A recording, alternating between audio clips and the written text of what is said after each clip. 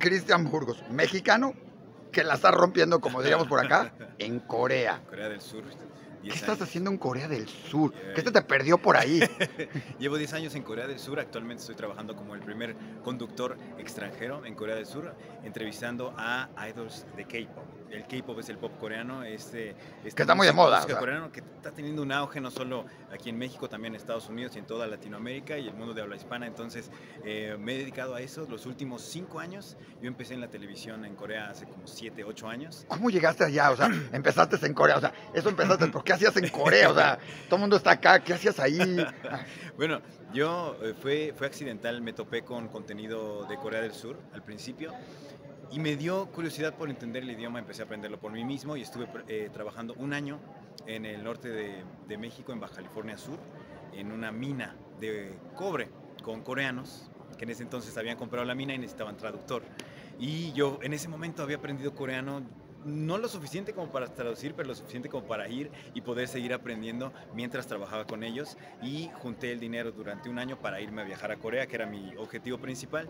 Luego llegué ahí y pues bueno, los, los caminos del destino me llevaron a poder hacer una audición para un programa de debate en el que 11 extranjeros de diferentes países se juntaban en una mesa de debate para hablar acerca de cosas de cultura, eh, religión, política, etcétera. Y yo estaba ahí sentado como el representante de México y ese fue el programa que a mí me eh, catapultó como un- una imagen y un símbolo de México allá en Corea. ¿Qué tan difícil es la mentalidad coreana con la mexicana? Cambia, varía, digo, de trabajar en una mina a estar en, en Corea viviendo, a estar 10 años ya.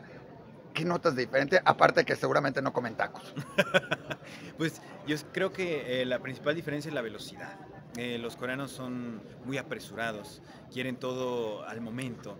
Y ese es yo creo que el choque más fuerte. Incluso cuando trabajé en la mina me daba cuenta de ese choque porque cuando yo no estaba y los coreanos y los mexicanos querían ponerse de acuerdo para algo, los coreanos siempre les decían pali pali, que significa rápido, rápido. Y los mexicanos les decían mañana. Es el país del mañana, sí, está bien. o sea, mañana. sí. Entonces, sí, Aquí es el país del sí, ¿cuándo? Ahorita, no sé. Ahorita, mañana. Entonces, sí, ese contraste siempre lo, lo- lo sentí. Y bueno, ya estos 10 años trabajando en Corea, obviamente me han ayudado a pues, a adaptarme, pero pues todavía Oye, mi raíz mexicana. Además, hip hop, todo. A ver, platícame tu experiencia más extraña de Mm. como conductor. Seguramente hay alguna ahí de que dijiste, quién sabe qué les dijiste, tú les dijiste Mm. pali pali y estos entendieron. Aquí en México les dices pali pali y ya me imagino otra, unas cuantas cosas más. hijo. Yo creo que la experiencia más interesante y rara que tuve fue cuando tuve que entrevistar una de estas personas que se dedican a hacer los perfiles de escenas del crimen ahí en Corea. Y es un vocabulario que jamás había manejado yo. Es, eh, a pesar de ser conductor y haber estudiado varios rubros, era un rubro totalmente nuevo para mí. Entonces fue muy interesante poder acercarme a eso y poder escuchar eh, de mano de un- una persona que se dedica a eso todas las historias. Como que de puede haber, platica algún vocablo, a pues, ver. por ejemplo, los criminales más famosos de Corea del Sur, los crímenes más atroces que han hecho y cómo los, ha- los han entrevistado a ellos en, en estos lugares de la policía que los sientan Sí, sí. y todas las reacciones que estos criminales tenían y todo que nos los cuente de primera mano, sí es, es espeluznante hasta cierto punto, pero sí. Ay, nada que no se vive en otros países, no Sí. quiero decir este, pero... No, Sí, no, claro, pero no. Claro, claro, claro, pero pues no, no te lo cuenta el- la persona que le hizo la entrevista. No te lo cuentan en coreano. De primera mano, sí.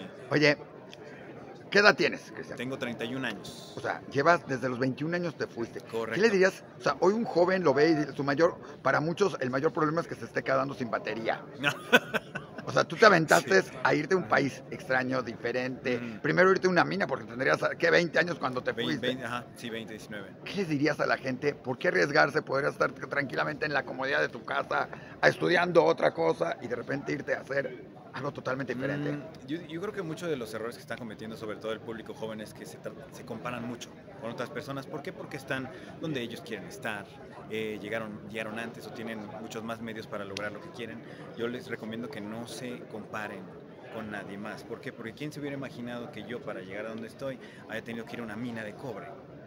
No quiere decir que ustedes también tengan que ir a una mina de cobre para llegar allá. Cada persona tiene su camino, sigan su camino, armen su camino y confíen en ustedes y en el talento que tienen y van a ver que pueden llegar a donde. Oye, ¿qué dicen de un conductor mexicano en Corea, el extranjero? ¿Qué te dicen? Y además conduciendo hip hop, como que, o sea, es como si, perdón, a ver, tenemos un muy buen Oparse, Mm. un gran influencer coreano, mañana se pone a dirigir el ballet folclórico de México. O sea, Claro, pues les gusta mucho la picardía que tienen los mexicanos. Eh, es muy diferente cuando... ¿Te la entienden? Porque el doble sentido. Ah, bueno, no. Con eso del pali pali y el doble sentido, Cristian, bueno. Pero, pero ellos, eh, los conductores coreanos no tienen tantas emociones, pero yo soy muy expresivo, entonces yo hablo en coreano, pero me expreso como mexicano. Y esa como mezcla, esa como mezcla híbrida les gusta mucho y los hace incluso como bajar un poco la tensión que traen antes de hacer una entrevista y, yo creo que esa ha sido mi diferenciación también. Pregunta. Aquí, aquí en México tenemos nuestros slangs. O sea, Claro. ya sabes, o sea, le decimos güey, eh, pin, pen, etcétera, etcétera. A ver, algunas en Corea que nos quieran. Enséñanos algunas en Corea que Oh. tengamos que aprendernos y decir por si a alguien le tenemos que decir o queremos, ya sabes, Ah, o pues yo- alburear o comentar o cotorrear a alguien. A ver, Una de las más comunes yo creo que sería Tebak. ¿cómo? Tebak. ¿Jeba? Tebak. ¿Cómo? Tebak. Jebak. Tebak. Jebak. ¿Qué eso qué significa quiere decir? Chingón. Ah, o sea, eres Jebak. sí, ¿Sí? exacto. ¿Jebac? Exacto. ¿Qué Jebac eres? ¿Algún otro? O sea, me lo voy a aprender. Jebac. Muy bien, otra. Mm, otro que puede estar por ahí. Por ejemplo, eh, ¿qué otro Algo así como, que, que de las notas tenemos muchas que Ujú. significan 28 cosas. Chinga, O sea, ya lo dijiste chingón, Mm. pero todo depende cómo lo uses. ¿Alguna así curiosa que Ah, puedas? una curiosa que ha salido recientemente, que es Cepin. ¿Cómo? Cepin. Ceping. Ajá, Cepin es como un artículo nuevo. Cuando tú te compras algo nuevo, dices, me compré un Cepin.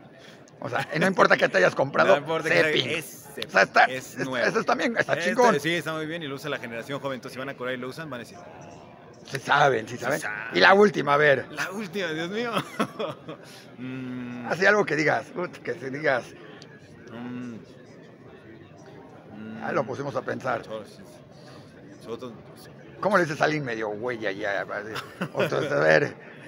Ah, tonto, tonto en coreano es pavo. ¿Cómo? Pavo. Pavo. Pavo, como el pavo de Como el pavo, pavo, Como pero pavo con, de con el ajá. pavo. Pavo. O sea, exacto. Si le digo a alguien pavo, se va a enojar conmigo. enojar, sí, Está bien, mejor le decimos Sí. Zepping, que me compré un Zepping. O Eva, Eva. Eva.